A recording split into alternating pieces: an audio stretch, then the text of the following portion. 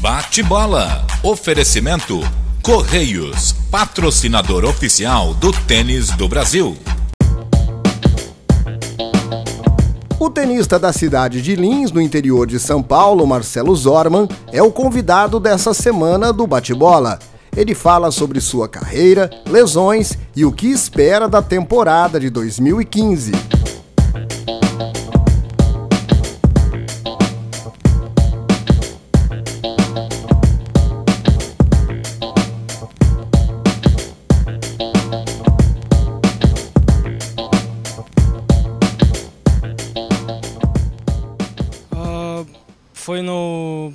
Três meses finais ali do, do ano passado. Eu. Cara, sinceramente eu nem eu não lembro direito o que foi, foi, mas foi uma série de coisas. Eu parei primeiro por causa do meu joelho, que eu, eu já tive uma tendinite eh, no meu joelho direito e eu fiquei parado um tempo e logo depois que eu voltei apareceu algo no meu no meu pubis direito. E daí eu tive que ficar aquele tempo parado, eu voltava alguns treinos, aí eu sentia dor e fazia, fazia exames, aí eu acabei, acabei encontrando um problema, que na realidade era uma, uma, uma bactéria, uma, uma bactéria que tinha no, no meu corpo que, tava, que gera séries de dores na, nas articulações, essas coisas, e que estavam me atrapalhando. Daí eu fiquei parado o tempo necessário e voltei com tudo ali na pré-temporada, não, não senti mais nada. E fui para em fevereiro a gente jogamos três semanas nos Estados Unidos, onde eu tinha que buscar bastante bastante ritmo ali, consegui fazer o maior número de jogos possível, eu consegui alcançar bem ali o objetivo, eu joguei, fiz jogos bons, acabei dando um pouco azar ali no no quali ali, peguei Orlando, peguei um outro moleque duro, acabei não conseguindo passar uns dois quales, mas foram bons jogos, então não foi uma gira de resultado, não foi tão bom, mas de desempenho foi muito boa. E na preparação de treinos para a China e para para começar a jogar os torneios profissionais, eu tava vinha treinando muito bem, estava me preparando muito bem. Aí eu tava com uma dor aqui uh, perto do meu pubis, na minha virilha, eu fiz exame, eu tava com um estiramento. E daí eu fui para a China, acabei indo não muito treinado, que eu tive que ficar uns dias parado, então para voltar a pegar ritmo lá foi um pouco duro, que a quadra também era, era bem rápida. Só no último jogo eu consegui desempenhar bem. E quando eu voltei eu fiz uma ressonância para ver como é que eu tava e daí descobri que eu tô com uma, uma pubalgia. Daí o médico me falou que eu poderia seguir treinando e jogando normalmente até Uh, mas só que fortalecendo essa região e tomando cuidado com ela. E foi isso.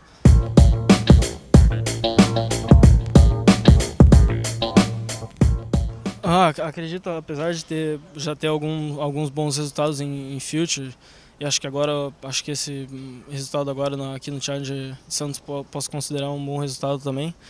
Acho que, acho que até mesmo, não só eu, mas acredito que todos os torneios têm sempre alguma coisa nova para se aprender, mas acredito que não só eu, mas como todos os profissionais. Acho que até mesmo o Djokovic, a cada torneio que passa, ele vai, vai aprendendo coisas, é, coisas novas, talvez não muita coisa, mas cada torneio que passa, acho que ele aprende alguma, alguma coisa. Então, acho que isso também serve para mim e para todos. Acho que cada torneio que passa tem que estar sempre é, progredindo, sempre evoluindo e aprendendo com, em todos os torneios, em todos os jogos.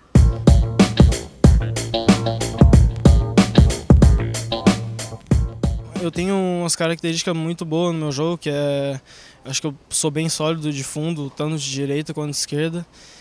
Mas com a minha direita eu consigo ser mais agressivo, consigo dominar melhor o ponto. Só que uh, minha esquerda também não, não deixa a desejar, acho que eu consigo ganhar alguns pontos com ela, mas ela eu fico mais no no, mais firme no, no ponto com ela. E bom, acho que eu acho que eu consegui, consigo, tô conseguindo me movimentar bem também, chegando bem às bolas. Acho que minha movimentação não está ruim. Acho que é uma, uma coisa que, claro, que eu posso melhorar. Acho que tudo sempre tem, tem como melhorar, mas acho que talvez o uh, acho que uma coisa que eu tenho que melhorar que vai me ajudar bastante agora no meu jogo, acho que é o saque. Acho que e atualmente acho que é um, um golpe que está fazendo muita diferença é, para todos os jogadores. Hoje em dia, se você não sacar, tá, fica muito difícil de, de jogar.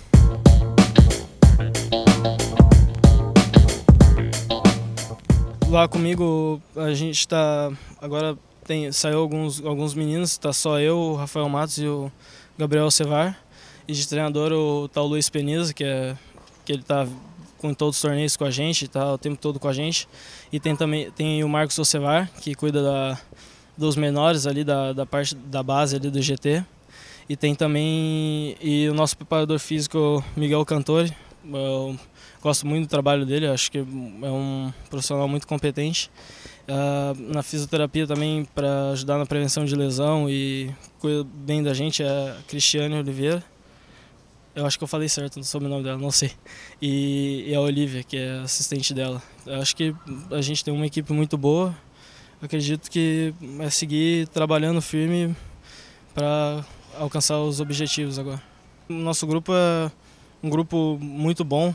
Acho que nós quatro a gente se dá muito bem, tanto dentro quanto fora da quadra. Acho que isso é uma coisa muito positiva, porque a gente sempre, sempre que pode estar tá um, um no jogo do outro, sempre puxando, motivando o outro. Então, acho que isso é uma coisa muito positiva para nós que agora que vai entrar num circuito que que é mais duro, porque no juvenil tem os grandes lãs, tem os torneios grandes, são muito bons, está acostumado a um Grand Slam, torneio que não tem nem, nem o que falar, é um excelente, são excelentes torneios e agora que a gente vai jogar o Surte, são torneios um pouco é, mais duros assim, de se jogar. Chega num, num clube, às vezes a quadra não é tão boa, não tem muita gente assistindo, o lugar é meio precário, então acho que ter alguém junto, assim, motivando, é, descontraindo também ali fora da quadra, fazendo a gente dar risada, acho que é, acho que é muito importante ter, um, ter uma turma assim.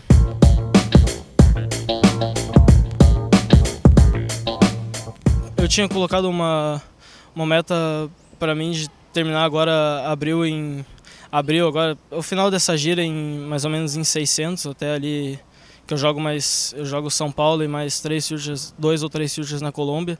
Espero terminar em 600 esses esses torneios. E bom, acredito que é, tentar fazer um máximo de pontos esse ano para para ano, ano que vem já tá conseguindo já é, jogar mais challengers do, e jogar mais futures de, de 15 mil, conseguir se consolidar, conseguir já ir pegando, entrando na chave direto nos challengers, para já ir conseguindo conseguir sair mais rápido possível dessa, dessa zona dos filters, que acho que, que, é, que é uma zona não, não tão boa. No, e nos Challengers também tem um nível bom, já ir conseguindo jogar uns Challengers, uns quadros de ATPs também, para já ir pegando bastante nível. E esse ano acho que é isso também, conseguir pegar o maior nível possível para ano que vem também conseguir os melhores resultados possíveis. Bom dia, amigo. Opa, bom dia. Preciso que tu me leve para pagar umas contas, tenho que fazer uma transferência pro exterior, emitir meu certificado digital e dar entrada no seguro DPVAT. Opa, só se for agora. Quer passar onde primeiro? Vamos pros Correios. Dá pra resolver tudo lá. Nos Correios? É, toca pra agência mais próxima. Mas é que tem uma bem ali, ó. Que bom, né? Então valeu. valeu, Guga. Quem quer produtos e serviços de conveniência já sabe. É mais fácil ali nos Correios.